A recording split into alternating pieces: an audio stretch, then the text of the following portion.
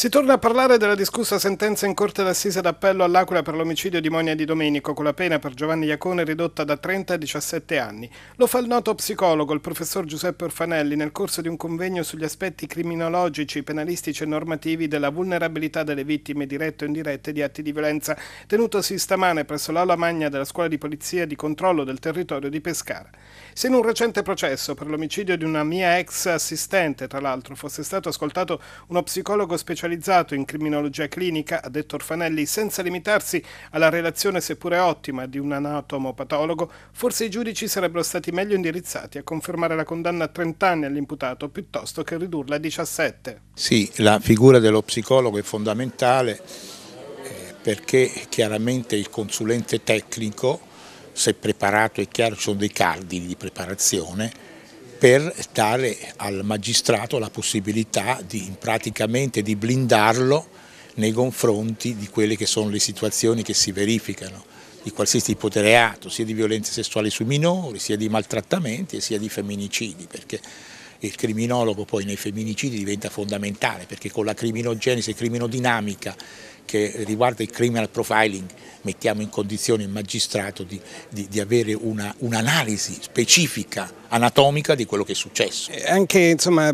prima lei diceva rispetto alla questione dei disturbi eh, mentali, ad esempio pensiamo ai pedofili, di personalità rispetto ai pedofili ad esempio, sono persone che non si possono curare e che quindi in qualche modo possono reiterare il uh, reato e allora come ci si deve comportare? Il, la pedofilia è una perversione sessuale, non è una patologia. È chiaro che queste persone possono solo ed unicamente, una volta condannati, andare in galera. E più ci rimangono meglio è, per, però chiaramente il codice penale ha dei, dei, dei, dati di carattere carcerario e quindi detenzione, oltre quello non si può andare, però è, logicamente è una persona che quando esce essendo un perverso sessuale può continuare a reiterare nel suo regalo perché ha bisogno di viversi quella situazione. Conclusione, eh, la, scienza, la, moderna scienza dell'investigazione mette in risalto il rapporto sempre più stretto tra psicologia e investigazione. Questi ragazzi qui questa mattina insomma, da questo punto di vista hanno ricevuto informazioni molto utili ma questa è una scuola all'avanguardia dove io mi onoro di insegnare dal 2000, cioè questa è una scuola chiaramente che l'unica in Italia, le scuole della Polizia di Stato, che danno questo tipo di, adesso c'è la scuola allievi, una scuola di aggiornamento, che danno, hanno delle ore di psicologia che sono fondamentali ed importanti proprio per dare dei, dei supporti a questi ragazzi. Io quest'anno farò anche una lezione a loro di poche ore, però alla scuola allievi agenti, l'ho fatta anche a Spoleto, è fondamentale perché devono, devono avere dei margini di capire il ruolo del tecnico nel loro lavoro e capire il loro lavoro che è fondamentale e importante.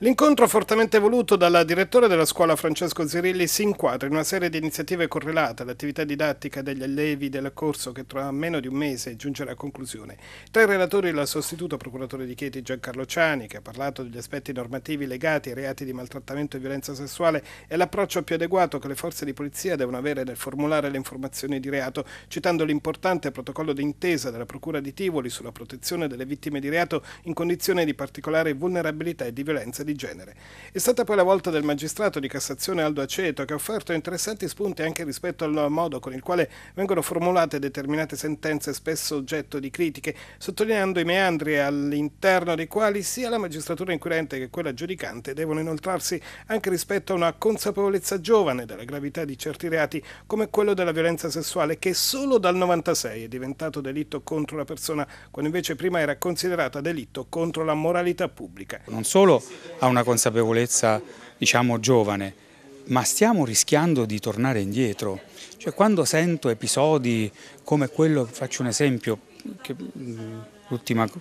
notizia di cronaca, della, della, ragazza arbitro che subisce aggressioni sessiste eh, in campo con ragazzino di 14 anni che si toglie il pantaloncino a mo' di sfida per farle vedere il pene. Eh, allora tu capisci che stiamo passando un periodo un po' per cui Mm, la dimensione eh, della, eh, dire, della, sessualità come diritto inviolabile della persona è, è, messa a dura prova, non che i diritti non lo siano mai, perché i diritti sono sempre, non sono mai eh, diritti acquisiti, ma necessitano essere implementati giorno per giorno. Ma il rischio è che la cultura di oggi ci porti verso un allontanamento da questa consapevolezza. Cioè abbiamo fatto tanto per riuscire a, a, trasformare questo reato in un reato contro la persona, vediamo adesso di non perdere tutto il lavoro fatto. Ecco. Spesso l'opinione eh, pubblica si trova a non, a non, capire, a non comprendere determinate decisioni eh, dei giudici e allora come in qualche modo si deve intervenire da questo punto di vista? Ma eh, è, questo è, è, fisiologico, perché come ho detto prima, eh, quando eh, viene data la notizia,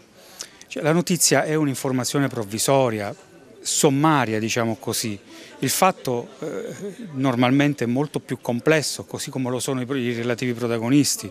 per cui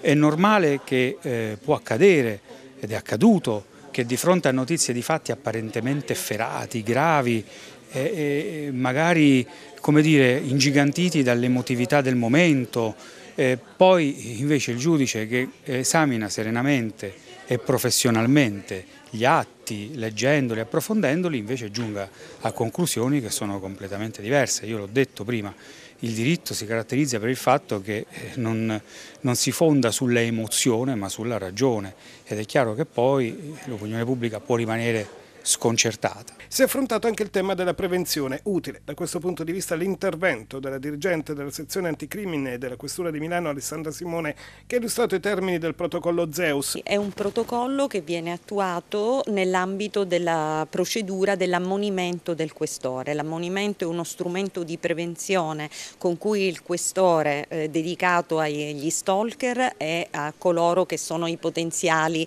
autori di atti di violenza domestica. Il questore gli intima di non continuare in quel comportamento. A Milano appunto da aprile dello scorso anno si fa di più, oltre all'intimazione del questore il potenziale maltrattante, il soggetto ammonito viene mandato in terapia, un trattamento diciamo eh, un percorso terapeutico, trattamentale ecco più che terapeutico per cui il soggetto eh, avrà coscienza del disvalore sociale e penale del fatto. Attraverso appunto viene preso in carico da un'equipe multidisciplinare di psicologi, criminologi, terapeuti, terapeuti che gli faranno capire che quello che compie non, non, deve essere fatto. Ecco, alla luce anche dei tanti, troppi episodi di femminicidi, lei diceva prima con estrema onestà intellettuale, se vogliamo, è che bisogna eh, davvero prendere sul serio determinate denunce, visto che l'80% dei femminicidi alle spalle a monte